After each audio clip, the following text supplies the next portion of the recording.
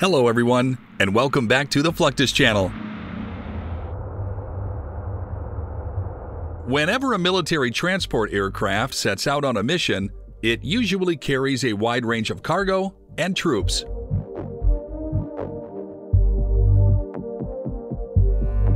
Depending on the mission specifics, this can include heavy artillery and vehicles.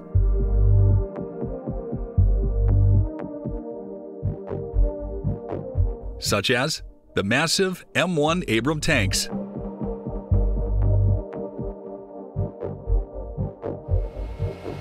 It can also include palletized cargo, Humvees, and even boats.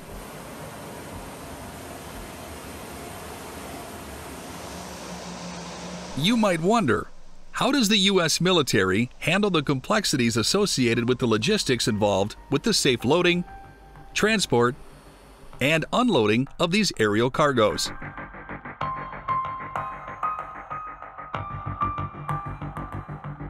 These are carried out by specially trained crew members who supervise cargo handling.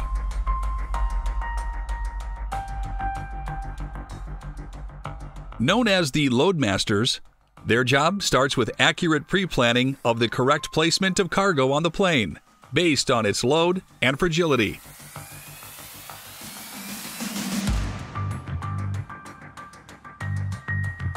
They apply scientific and mathematical principles to load aircraft properly and are vastly experienced in operating the Loadmaster software.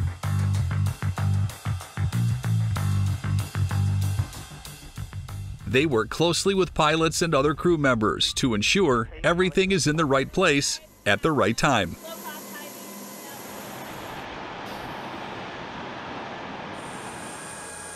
Loading an aircraft is actually an exact science.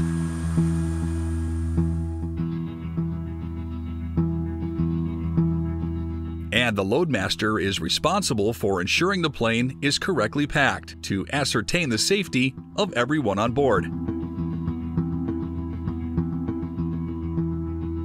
The loadmasters must be able to develop a number of skills.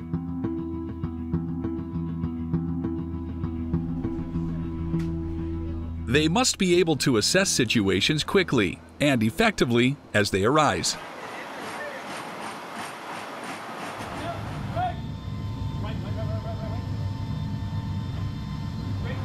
Side shift to the left. They need to have strong communication skills. And they are the point of contact between the flight crew and the ground personnel.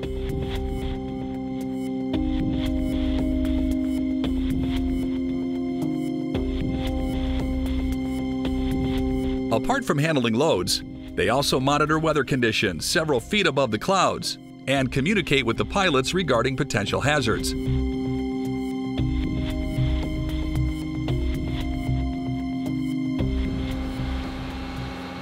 Loadmasters' jobs are versatile, and they can work with both civilian and military transport aircraft that need safe cargo handling. your head, somebody tries to come at you with a knife, um, and also how to take a rifle away from somebody. There is ample training required for a loadmaster to be proficient.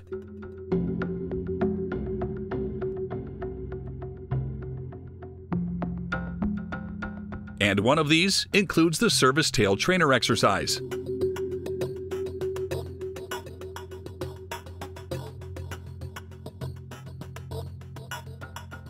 In this exercise, the student loadmasters are tasked with loading and unloading operations.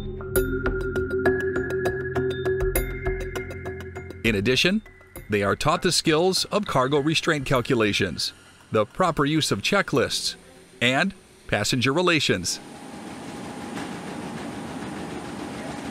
A critical part of the training is when the loadmasters are made to weigh the vehicles at the aerial port. Then load them onto the aircraft on the flight line.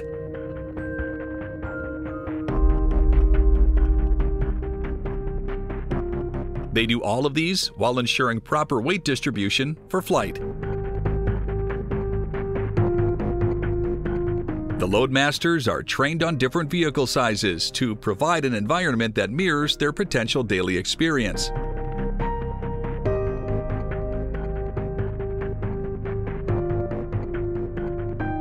They are made to configure different sized cargo.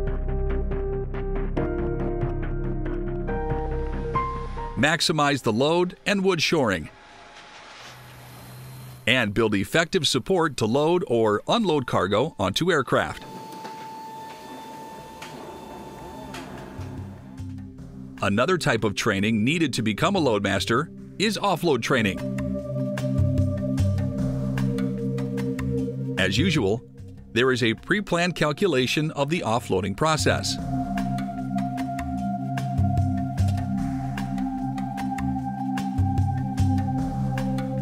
Afterward, they ensure the checklists are correct before offloading the cargo.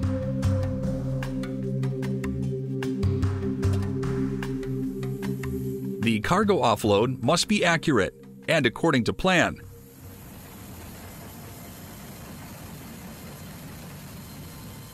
And the team must work together in unison to have a successful task.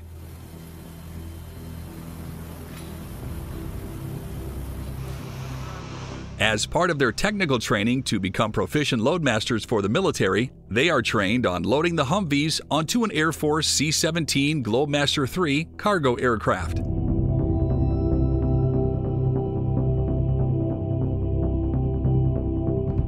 The Humvee is a versatile, four wheeled military vehicle that can carry a wide variety of military hardware.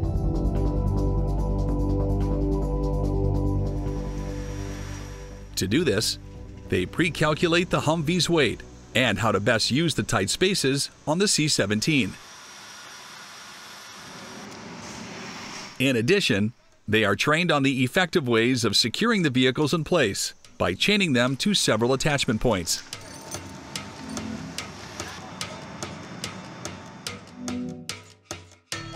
Whether the transport aircraft used is the C 17 or the C 130 Hercules, the process of loading and airdropping is the same.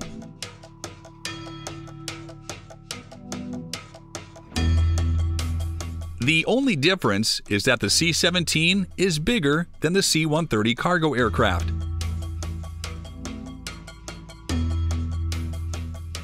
The Loadmasters have a huge task on their hands, especially when it's time to airdrop these vehicles.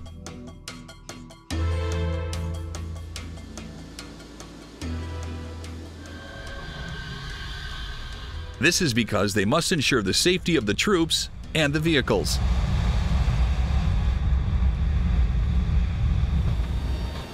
Hence, they are also trained in the airdropping process, which consists of various activities.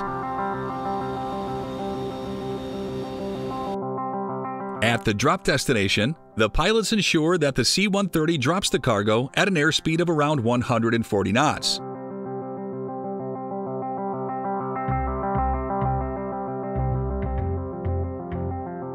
While flying at least 750 feet above ground level.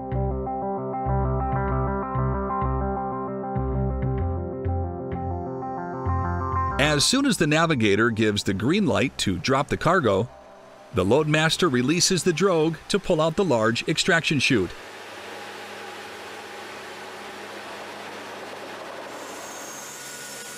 The drag on the extraction chute unlocks the cargo from the aircraft's cargo rails and pulls it out of the C 130.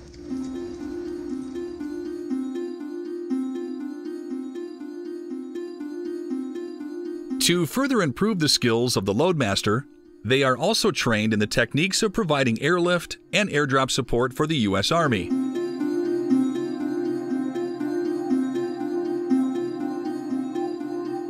For instance, the U.S. Army conducted an Arctic Anvil exercise at the Camp Shelby Joint Forces Training Center in Mississippi.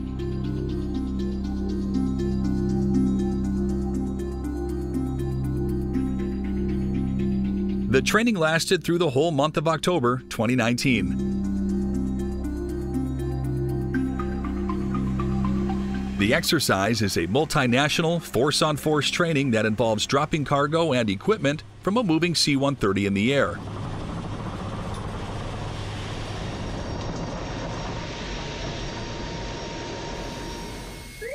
The Loadmasters are drilled on the importance of this operation and its importance to the overall success of the mission.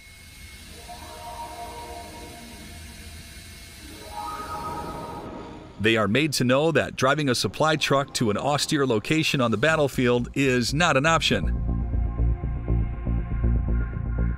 This is because it endangers the ground forces and their equipment. Hence, the airdrop operation is a way to ensure the ground troops never run out of supplies without compromising their safety.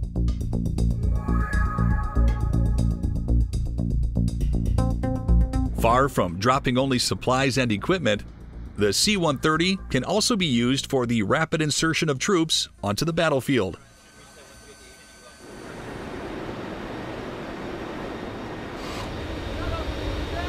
Known as the paratroopers, these special force members are trained to be dropped by parachute from an airplane into enemy territory.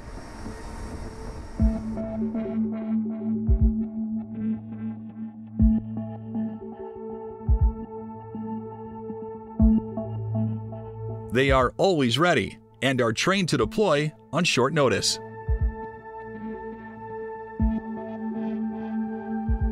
U.S. Army usually conducts Arctic airborne operation training to simulate a forcible entry operation to seize an airfield.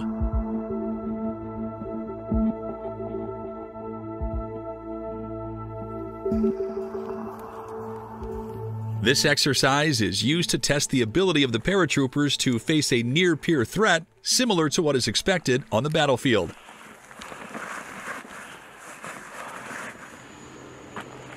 This is especially important in austere and cold areas, such as the Arctic regions.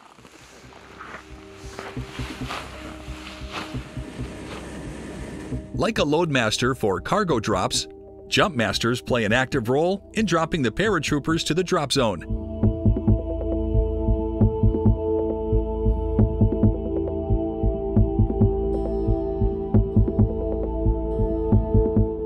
They come up with the logistics and the procedures for an effective dropping exercise, since they are responsible for the safety of cargo and troops.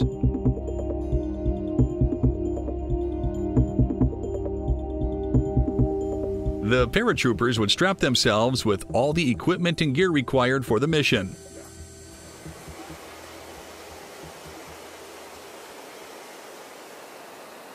Following that, they form a queue at the request of the jump master in order to perform the static line parachute jump from the moving C 130.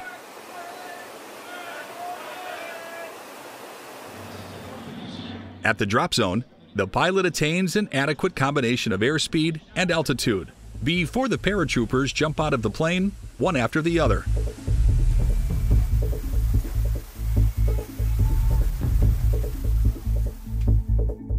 Aside from airdropping into the drop zone, the paratroopers are also drilled in casualty evaluation training during a swift response exercise.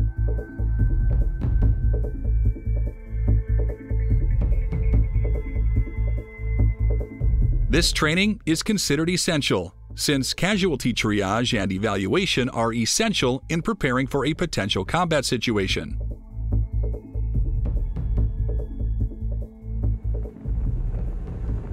The training encompasses the specific needs of the region,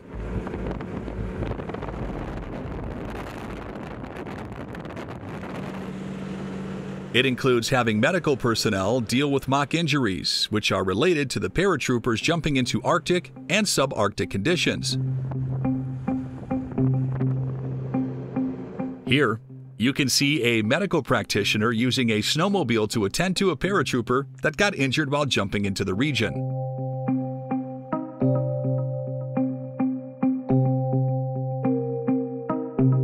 Getting planes in the air safely with all their cargo and passengers is an important daily task in the Air Force.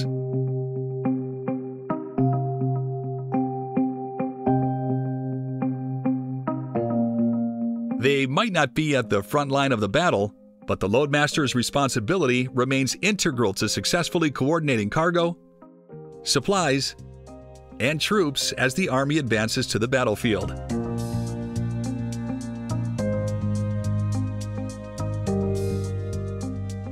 That's the end of this video. I hope you enjoyed it. Make sure to subscribe to this channel so you don't miss any of our new content. See you next time.